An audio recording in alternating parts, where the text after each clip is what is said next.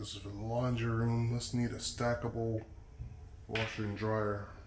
Or maybe just takes a washer and no dryer in here.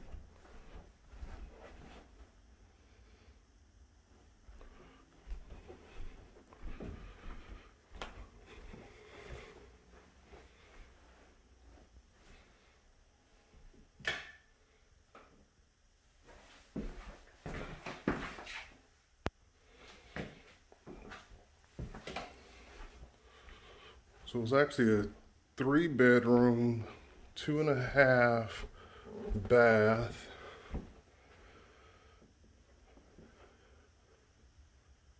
Yep.